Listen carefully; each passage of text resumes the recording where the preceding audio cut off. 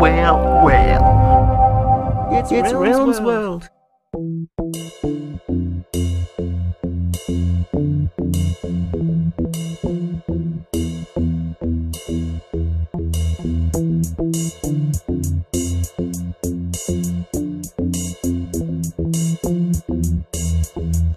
So I said to the guy, Fuck it, my life, at times always changing, sublime interchanging and rhyme devastation. Blind inebriation as I wait at my desk and blown imagination. I got wait to progress like a store-bought vest with no fucking styles, alone over time and barely alive. And I go home and write a page or two, and I sit in my room and I play on my tunes. Can you relate?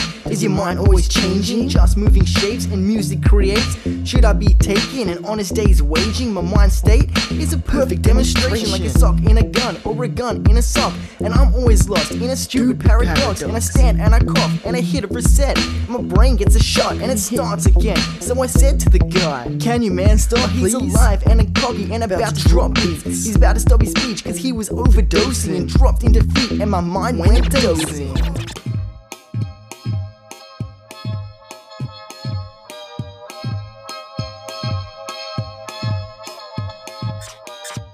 So I said to the guy, Are you back for a reason? Similar time and just similar teasing? Backtrack my pain. Why are you here? Just like yesterday, and I feels like a year. You might endear magic like a gypsy, the taste of fear, and your brain's so sticky. Today's gone quickly. Today has just rolled. Yesterday I was 50, I'm about 80 years old.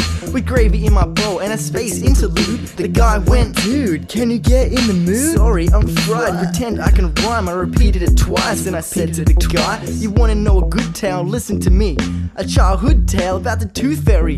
She smoked up a blunt with a cop out the front, ran out the back screaming, I don't give a fuck. We found her wrapped up in my yard, high as a kite, lying in indica. Needless to say, she didn't get the job done, so I said to the guy, Go and get my shotgun.